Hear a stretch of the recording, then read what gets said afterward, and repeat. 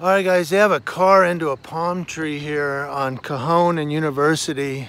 I didn't want to go down that side because you can see the power line is busted.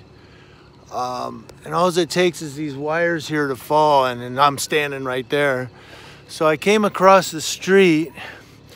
The CHP are here. They've blocked off the road to all vehicular traffic. Um, the AMR, it looks like, has the person in the car and uh,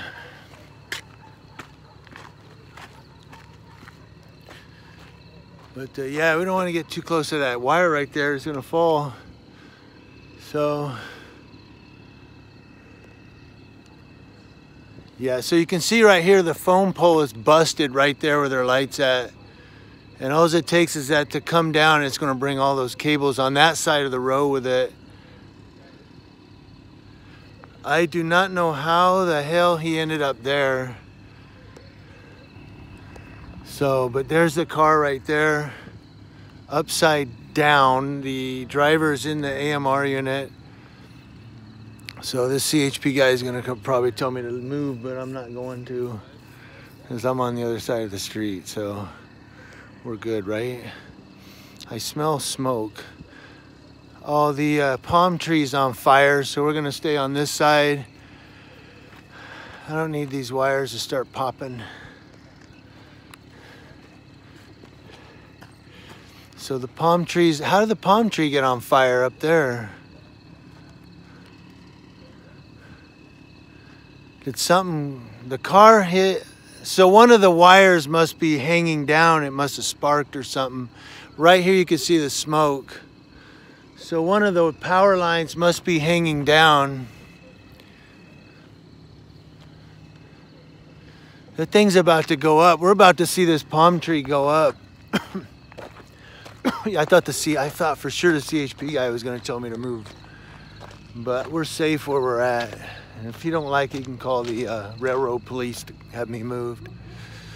Um, we're doing a journalistic story right now. So, and I didn't think to ask him what happened, but I think it's pretty evident. It said car into a palm tree. Uh, you've got some of the fire officials and CHP guy over there. Again, I don't want to get too close to that. For one, the palm tree's on fire. And for two, this pole right here is a, that's a telephone pole. Whoa, where's this guy going? Where is this idiot going? I'm not walking over there. I'm not going over there. I'm standing right here. Yeah, I'll stand right here.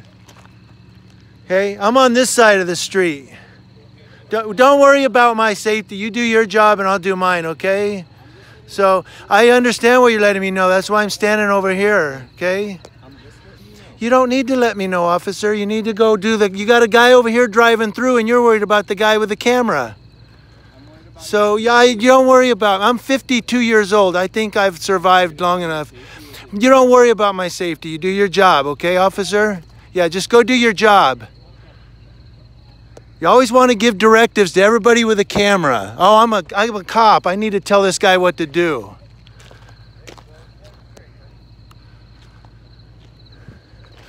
I'm standing behind this thing. I'm not standing under it. What do you need, my glasses? Goddamn cops.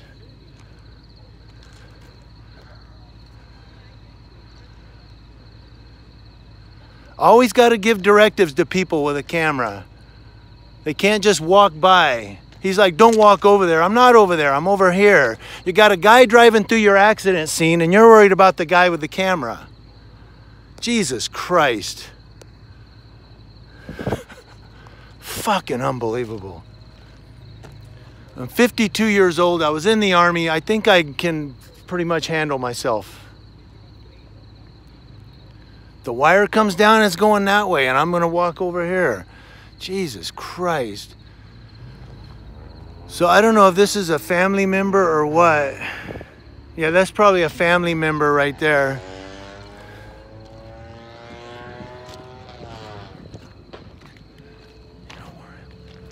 Okay, he pulled her aside. That might be a family member or a friend. I don't know why she drove through like that though. So you got this CHP guy here coming up. Yeah, he's trying to tell me there's a wire down. Why do you think I crossed the street, man? Why do you think I'm standing over here? Jesus Christ, he's walking back and forth and he's worried about my safety. He's walked through here three times since I've been here in three minutes.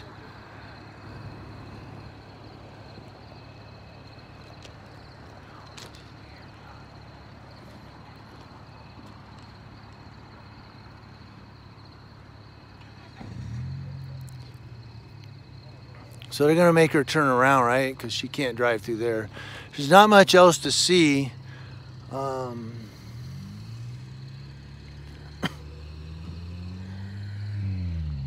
yeah, she's gonna have to turn around. So that person's in the ambulance. If it's a DUI, then they're gonna be going to jail. But there's the car upside down. I'm not gonna stay until the tow driver flips it. I'm just gonna take off.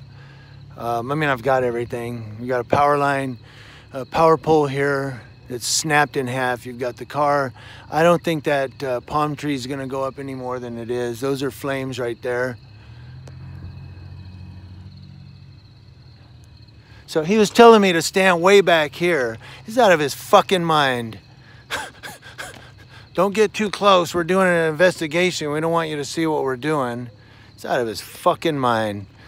All right, guys, I'm out of here. We've, I got the footage for you. Telling me to stand way back over here. Is he out of his mind?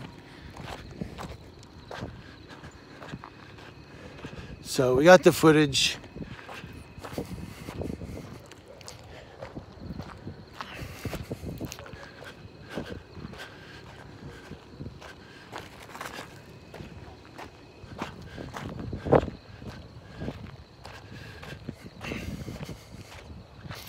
And we've got other cars coming up here. They're not going to let them through.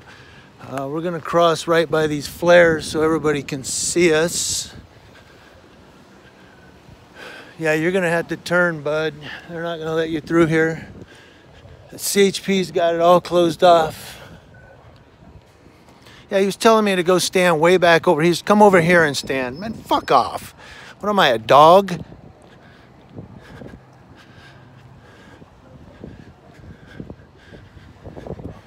There you go, guys. News Now Yucaipa.